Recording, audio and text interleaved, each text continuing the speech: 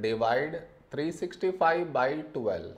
While doing this division, many do this mistake. What is the mistake that they do? I will let you know. But before that, we should frame it in this way 365 and 12 here. This is your step 1. Next, here we have 3 and here 12. 3 is smaller than 12. So we should take two numbers 36. When do we get 36 in 12 table? 12 3 is 36. Now you should subtract 36 minus 36 0. After this bring down the beside number. So 5 down. After this step the mistake happens and the mistake is this. Here we have 5 and here 12. 5 is smaller than 12. So what many do is they directly put dot and take 0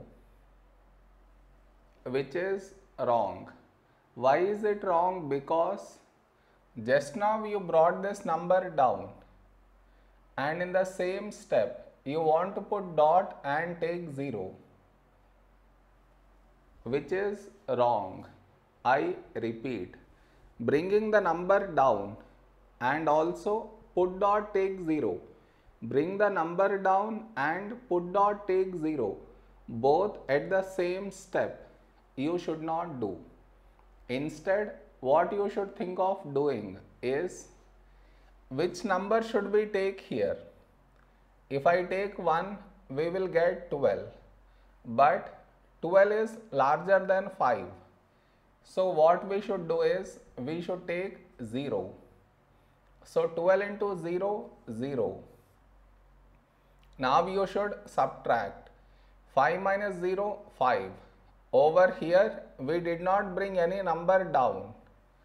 And 5 is smaller than 12. So now you can put dot and take 0. So 50. A number close to 50 in 12 table is 12 fours 48.